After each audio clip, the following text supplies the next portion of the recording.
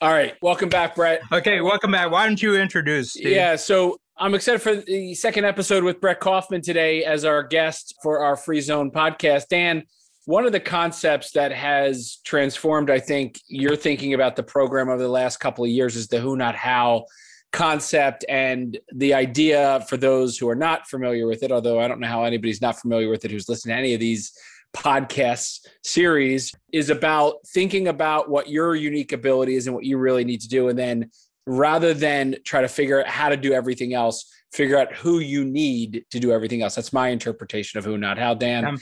And one of the things that I think is most unique about the model, because it sounds to many people like just delegation, is it's not about delegating down, it's about delegating up. And this idea of who is better suited than you to do the things that you're trying to do.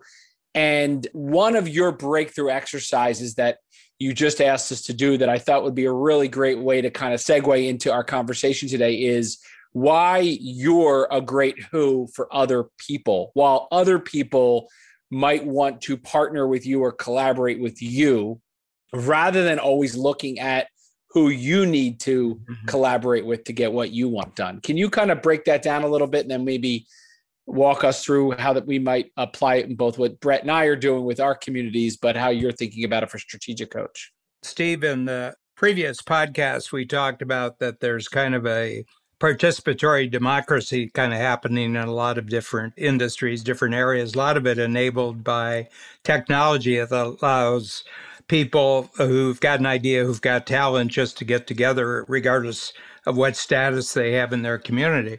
And I was saying, you know, going way back before we had the who, not how concept, entrepreneurs used to say, well, where I live, you know, I live somewhere, we just don't have great people to hire here. And I said, well, I find there's great people everywhere. The problem here, maybe they're not looking for you. So I said, Who do you have to be that great people would want to come and talk to you? Okay. So in the who, not how context, just updating it to the present time, I'm really good at certain things. And there's some areas where I haven't met my match. One thing is spotting people's unique ability. I think I can talk to somebody for about a half hour and I'm pretty close to where the center is. And you can just tell by the energy that they talk about certain things and don't use energy when they're talking about other things. So my feeling is that the thing that you love to do most, the thing that you do best is where you have the most energy. And the activity itself gives you energy, it doesn't use up energy. My mother told me when she was 75 that I had this when I was six or seven years old from reports of adults who would talk to me, and I'd keep them talking for a couple hours when I was a kid. So the thing about who not how is that it tells you why entrepreneurs don't grow. And the excuse is they don't delegate. And I said, you know something?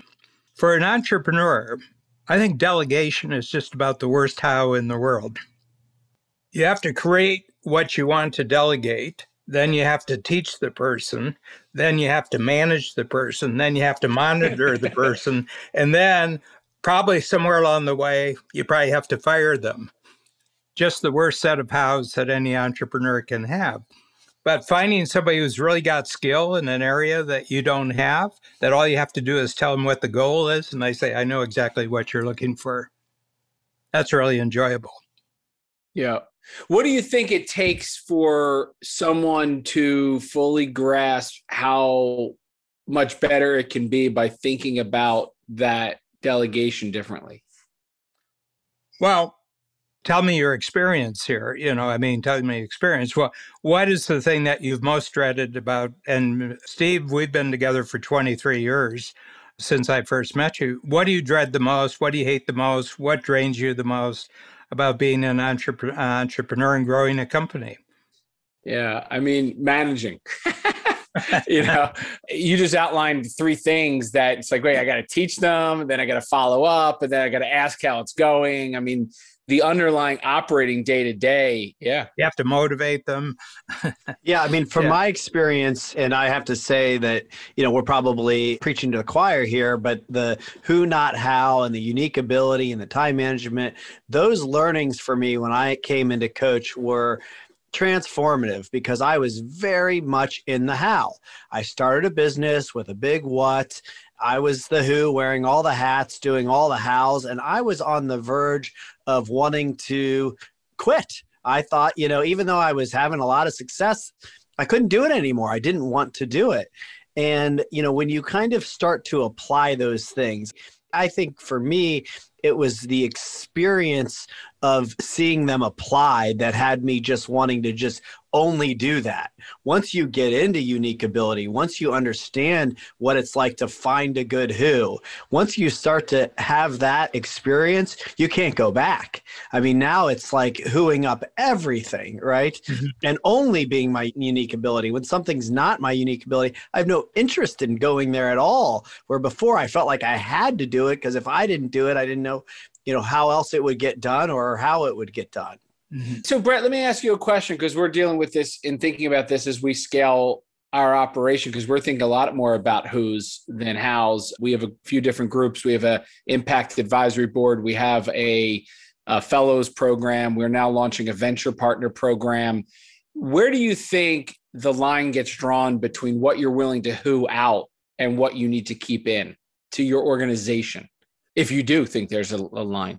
Well, you know, I can tell you that what I'm doing is really kind of whoing myself out of being an operator of any business ever again. You know, really what I'm going to end up doing is being a investor, advisor, coach to all of the well, businesses. And a visionary too. And a visionary, right. Yeah. And what yeah. I, you know, provide as advisor coach is vision, is experience, it is connection, it is tools, it's a lot of things, right? You can drive a tremendous amount of value you know internally versus externally I think it's kind of up to each individual. You know, I look at everybody on our team as a who.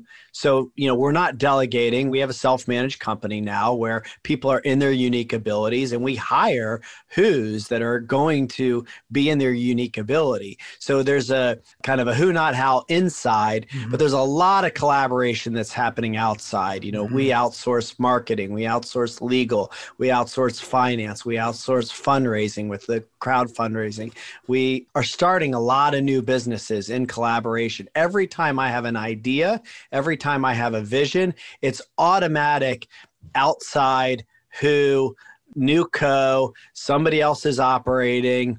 You know, I'm just there to make sure the vision comes to fruition. We've had lots of conversations because we do the podcasts and we have a lot of coach events and we talk about it. My sense is that your proper role is the explainer, the contextualizer, the protection of the vision. Okay.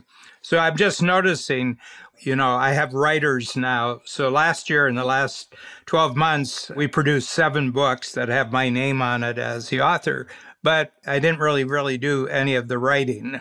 But not necessarily employed by Strategic Coach Inc right? That's the big. No, I mean, the writer of the quarterly books is an outside writer. He's an outside writer. The thing that I protect most is not the words. Like, I don't change his words at all.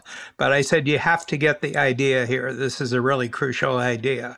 And it's a pivotal idea that if you don't explain it right, the idea doesn't come through. We're just completing the book is at the printer right now for Zooming Ahead. And I said, Zoom is not about communication. Zoom is about transportation, that you are actually somewhere else. And nobody's traveled as much in their life as they have over the last 12 months, except physically you didn't go anywhere. You just transported yourself to another place. And I said, this is actual transportation, but there's no regulation, there's no taxation. You're here, three clicks, you're there, and that's it. So, anyway, I had to really zero in and say, you know, this is the crucial idea. You got to get this idea right. And I think every entrepreneurial venture and every entrepreneurial innovation, there's a pivotal idea where you're suddenly shifting things to an entirely new way of doing things. And I think it's the lead entrepreneur's role to actually protect that pivot. It's interesting to think about an organization built this way. I think back 15, 20 years ago, it was really novel to think about building a remote first organization, one that didn't have an office, one that operated in the cloud that used collaborative technologies. It was frowned upon to not go into an office and to not have people sitting together nine to five. And now, obviously, especially in a post COVID world, there's lots of massively mm-hmm. you know transformational multi-billion dollar businesses publicly traded that are proclaiming to now be remote first, especially post COVID and not putting people back into an office. Mm-hmm. Do you suspect this is one of those kinds of shifts where 15, 20 years from now, there will be organizations with equity value? Because it's mm-hmm. I'm not talking about small businesses, I'm talking about real big businesses built without the idea that employees are needed to ascribe equity value to it, but the collaboration machine is at work with lots of who's doing the work? So I use two terms. I use teamwork inside, I use collaboration outside just to differentiate what I'm talking about. But in both cases, you're looking at unique ability of the individual. Okay, so in coach, we never call our employees employees, we call them team members. And I said, you know, there's only two things you have to get right here when you work for coach you got to take your unique ability as seriously as we take it. In other words, I take your unique ability seriously. The big thing is that you have to take it as seriously as I do. And then the other thing is you have to be really good at matching up your unique ability in teamwork with somebody else's. Those are the only two things you have to remember. You know, we have 70% of our team members have been with us for more than 10 years, 25% have been more than 20 years. I said, there's just something you got to get right. And I think that we're talking now with you with Startup Health. The whole idea is you don't give $10 billion to a single R&D laboratory and expect them to solve the problems of humanity. You create 360 separate R&D labs and you create a funding mechanism that allows each of them to innovate you know, one, two, three, or four innovations a year, where a big lab would, you know, it produce some interesting stuff, but it would be a monopoly and it wouldn't go anywhere. So what you're creating is really a very, very innovative network of people who are passionate about making a breakthrough in, in part. Well, that's a novel idea and it has to be protected because that differentiates you totally in the market. Whatever differentiates you totally in the marketplace, that's the idea that the entrepreneur has to protect. Brett, how do you think this applies in the real estate world, especially when it seems like historically there have been a whole bunch of who's coming together to build projects or finance projects? Yeah, I mean, I think that, you know, that's still going to be the case. I mean, you know, who's are necessary because to do a real estate project, you know, especially from the ground up, it requires people with very different, unique abilities. The people that know how to finance it are not the same people that know how to construct it. And you can kind of, you know, extrapolate that to every aspect of it. So by nature, it is very much a collaboration. And to the Zoom, you know, point, I think there's a lot of debate right now as to what does that mean for corporate office? What does that mean for go forward? Are we going to go back to in person? You know, can we solve all of our problems, you know, by Zoom? And I think what it does really for me, I think the end result is it really works to our benefit because what is going to get eliminated is soulless real estate you know, if you have a building with no character and no value to the individuals other than just putting them in a room, then Zoom can do that. But if you're providing an experience, if they come to that and they can feel a certain way, they can learn something, they can be a part of something. You know, Dan, we talked a little bit at the beginning about the bullshit factor, being together, having some margin time, just having time to be with in connection. Mm-hmm. All of that, I think, is if you're facilitating that within a physical asset, you're still going to have a lot of relevance go forward. Otherwise, Zoom is amazing to tackle a lot of what we used to do in person. Yeah. And I think the truth is there's going to be you know literally dozens of different kind of hybrid models i mean that's the way we're doing i I was telling Babs, I said, you know, the transition from completely Zoom back to in person, I said is going to be about five times more complex than the transition from in person into Zoom. That happened in three days. When we were back to full schedule, it took two and a half months to make a complete transition. The other thing is, a lot of people are romanticizing what in person was like because they've been away for it for 14 months. And I said, Oh, remember when we just hanged out? They're romanticized. It's like all the fun you had in high school, and you go back and you, you know, there were hormone wars going on, you know. Believe me, my my wife and I went out to dinner with another couple on Friday night for the first time in you know a year and a half in person inside. You know, I'd gotten pretty used to spending my Friday nights, you know, sitting on the couch reading a book and in my sweats. Yes, it wasn't quite as romantic as I yeah. had imagined it. Now we had a great time. It was great to be together. It was great to get out. But the hybrid model, I think, is right. You know, I don't plan to do that every Friday. In other words, next Friday night you're staying home reading a book and I'm staying, staying home next Friday. Yeah. yeah. But it's hybrid in the sense that it'll be different for different locations, different kinds of organizations. But we have one rule we've announced that we're shooting for October depending on, you know, governmental circumstances and governmental regulations. But we're shooting for October. The team starts coming back in August. Okay. We're in three countries, so it's different in three situations. But we have one rule, and it's very, very interesting. On workshop days, everybody's there. When we're having workshops, full staff, everybody's there. And right away, and said, Well, you know, I never see the clients. Well, we said, No, but we have a rule on workshop days, everybody's there. Look at the schedule. Look at the schedule. You'll see there's some days that have workshops and some days don't have workshops. But you can see already that you have to be a little bit firmer about going back because, well, I kind of like it the way, you know, I'm not. And I said, No, if you're paying your salary, yeah, you can probably make your own judgment. But yeah, yeah, we said the same thing. June first in Ohio, things are pretty much open, certainly enough to go back to work. And we had built in flex time to begin with, you know, work remote. And this is kind of another one of those things we talked about in the last podcast where we didn't really have to do a lot to really come back, in that, like, we already had these things to begin with. And we've never been somebody that was breathing down your back. It was always get your work done. You want to go sit in a coffee shop? So be it. That's fine. But the core is, you're in the office starting June 1st. You know, you get your flex time like you had it before. We'll give you a little extra because the world's changed, but we're back to work. We're in the office. I believe it's the best way, and we're going to stand by that. Yeah. Yeah.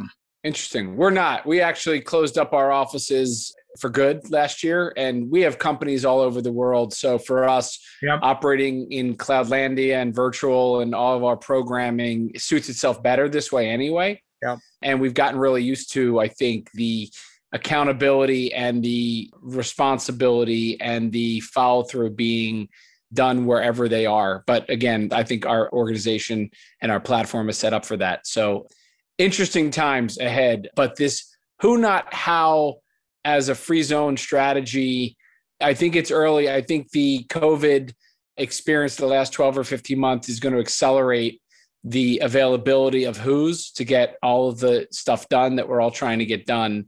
And the willingness for people to do that i think is only getting uh, stronger each day. Well the interesting thing about this as the world gets more technological there's actually a higher premium for really great human abilities.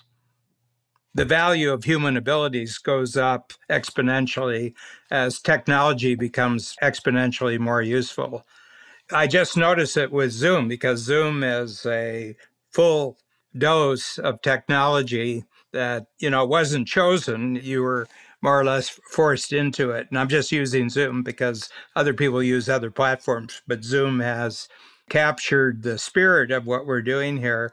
I've just noticed it around things like people being late know, where there was a whole language, there was a whole conversation, and in person, oh my God, gosh, you know, they've closed down this road and they've closed down this road. and there was a sort of understanding feeling, yeah, yeah, yeah. But it was kind of like a routine. It was like a comedy routine of why you were late. Somebody's late for Zoom, and you say, Well, you were in the kitchen. you know, it was 20 feet. Why were you late?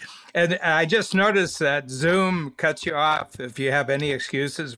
Why you didn't show up on time, why you didn't show up prepared, why didn't you do what you did? There's a real emphasis. Look, these times together are really precious. Deliver the goods when you get together. And I think that's going to leave a permanent imprint on the most talented people and the most productive teams, I think are going to follow on from there. Yeah. Biggest insight from today's conversation, Dan? The one thing that I'm really thrilled about is the way that Who Not How has just become a way of talking about things. And in coach settings, the moment you say Who Not How, everybody knows what you're talking about, you know.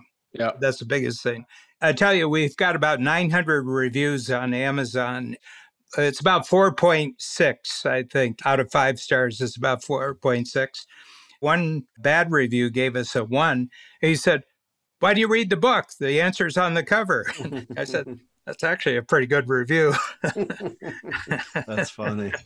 yeah, it was funny. Brett, your biggest insight? Yeah, I, I, like this idea that we started with, which is, you know, what makes you a good who? What qualifies you to be a good who? I think that's really a great reframe and a great question that we all should be asking, really understanding and being able to articulate what makes me a good person to partner with? What makes me add value? Why would you want to work with me? Well, here's why.